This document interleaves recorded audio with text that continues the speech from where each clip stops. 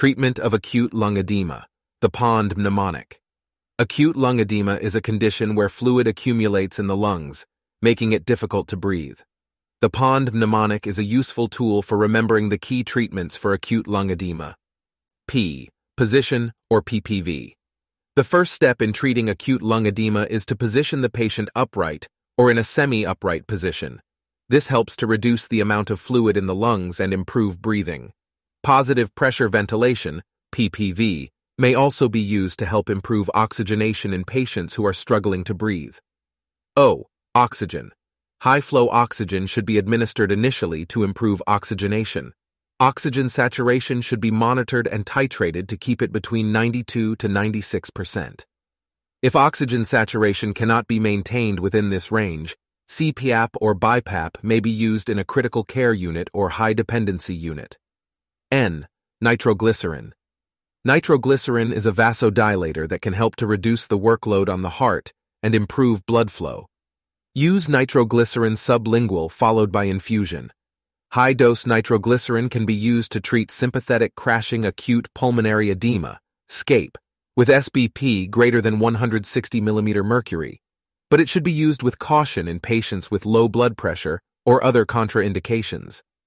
High-dose NTG is 600 to 1000 micrograms intravenous bolus, followed by 100 micrograms per minute infusion. Titrate as needed.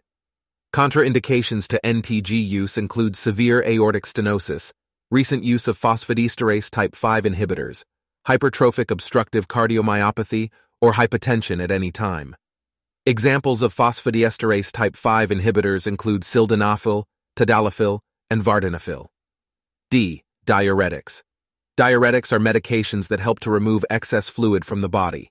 They are a key treatment for acute lung edema. Furosemide is the most commonly used diuretic in this setting. The recommended dose is 40 to 80 milligrams intravenous bolus, with additional doses given as needed. In summary, the POND mnemonic is a useful tool for remembering the key treatments for acute lung edema.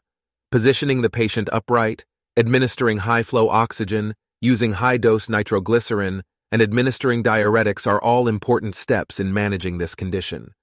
However, it is important to remember that treatment should be tailored to the individual patient and that other treatments may be necessary depending on the severity of the condition and the underlying cause.